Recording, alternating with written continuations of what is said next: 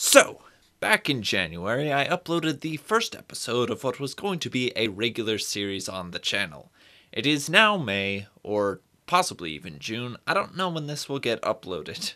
Whenever I finish.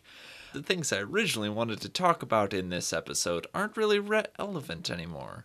For reference, those things are the Tide Pod meme, Ugandan Knuckles, the video games Doki Doki Literature Club, Sonic Forces, and of course, YouTube demonetizing smaller YouTube channels. None of those are relevant anymore. Some of them aren't even internet content, as I said, they're video games, but as you can guess from the title of this video, I was going to talk about Let's Plays. And even though the Let's Plays that originally got me thinking about this topic aren't really relevant anymore, I still want to talk about the genre. Why is it as big as it is? Why isn't it as popular now as it used to be? What makes a good game for Let's Playing? What makes a good Let's Player? All of this and more on this episode of the Subfeed.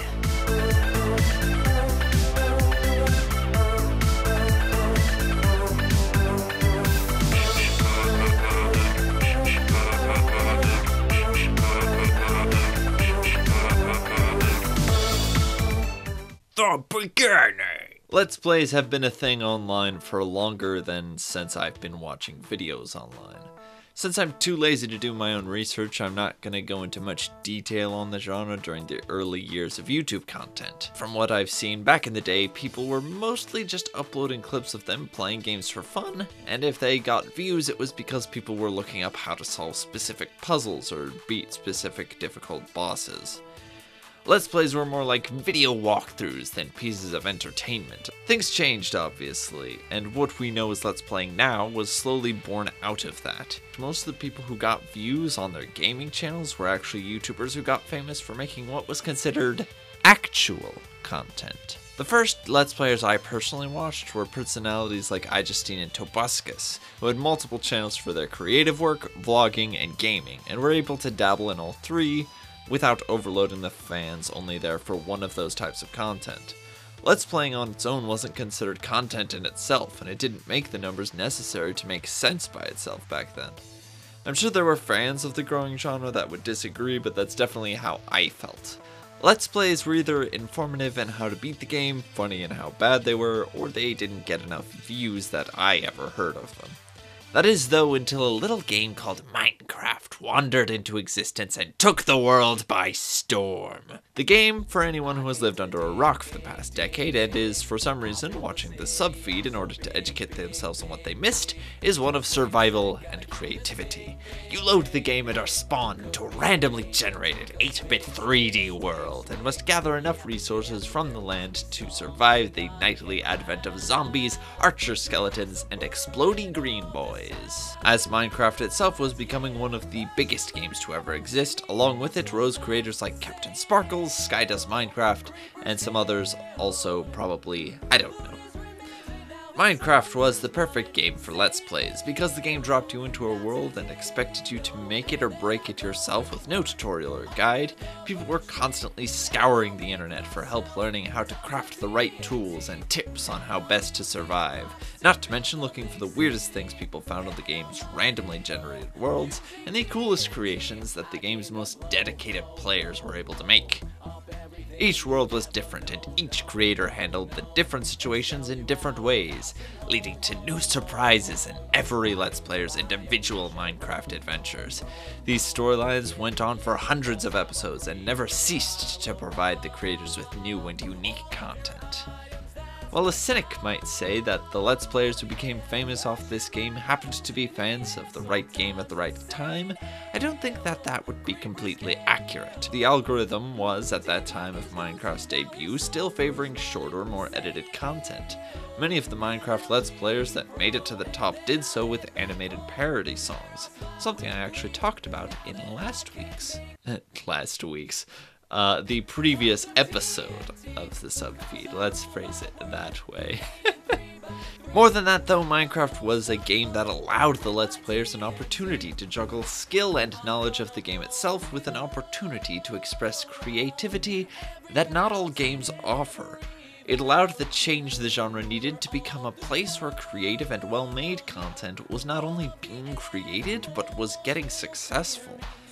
And that change was necessary for what was about to happen. Rise to the top! In March of 2012, YouTube fundamentally changed how its algorithms worked. Suddenly, the videos promoted by the site were no longer determined by how many people were clicking on a video, but rather how much time people were spending on each video. In the wake of this change, channels dedicated to sketch comedy and short form content disappeared, and in their place, gaming rose to be the single biggest genre on YouTube. Don't check my numbers on that because I don't know if it's true. But I, what I do know is that the algorithm changes ensured that channels like PewDiePie, Game Grumps, and Markiplier all rose to prominence. By August of 2013, PewDiePie had risen to become the number one most subscribed to channel on the site, a rank he has maintained even long after the Let's Play genre has slipped out of the popularity it held in this area.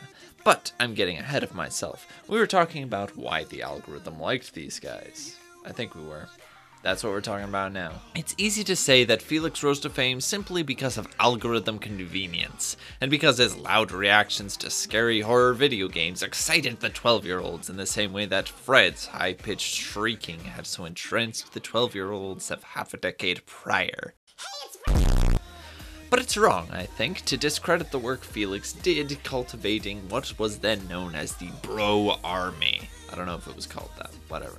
He created a space where people felt like they were hanging out with a friend, nay, a brother, not just watching strangers play games on the internet, which is actually what they were actually doing.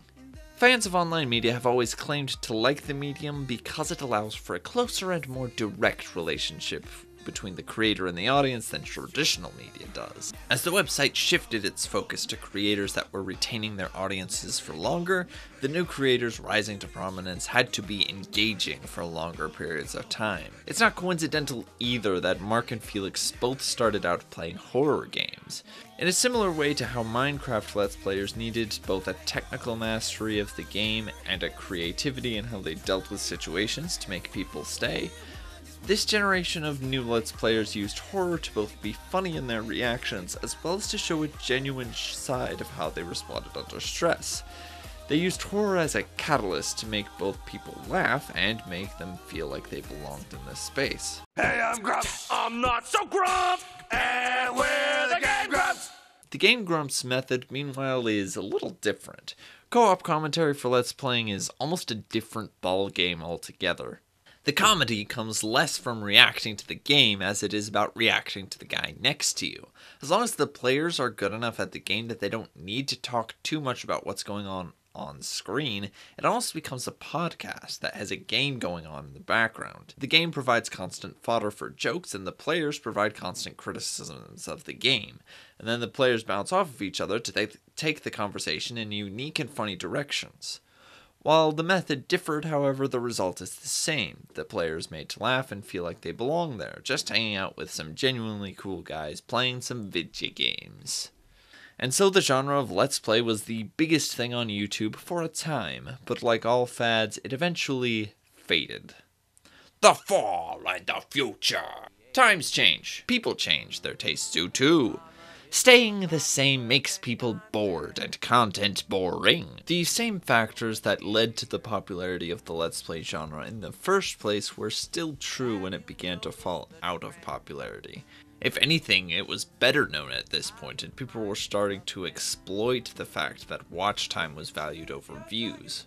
In particular, a reaction channel called LeafyIsHere started uploading in the gaming category.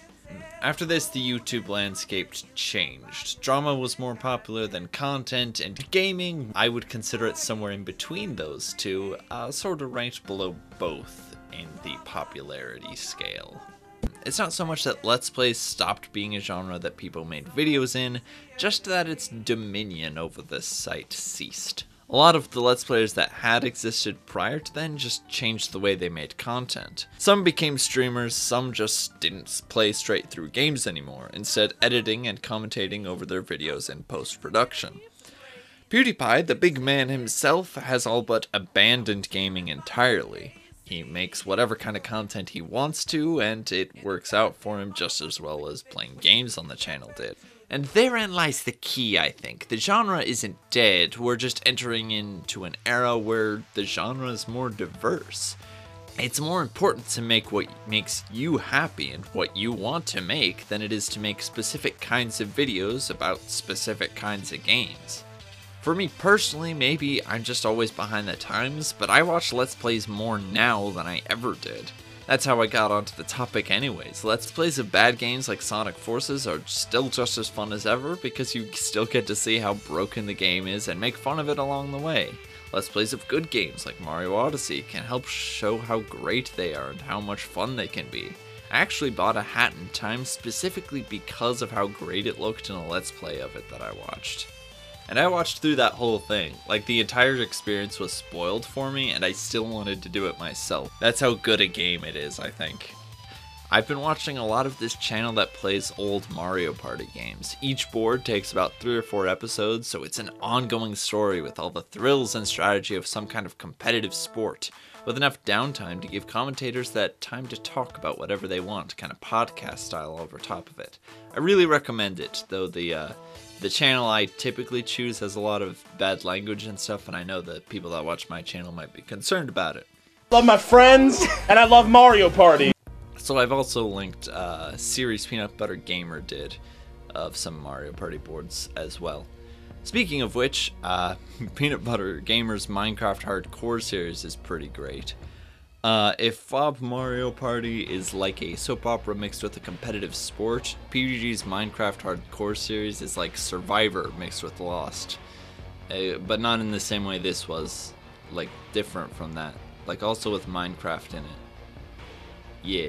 If anything, I think that the genre is in a great place right now, where you can take gameplay footage of any game and do anything with it. Make it multiplayer, whether that means competitive or co-op. Or you can do something single player, or just you playing with strangers online. Go through the story or don't. Make it 100 episodes or edit it down. Stream it, cut it, paste it, whatever you want to do with it.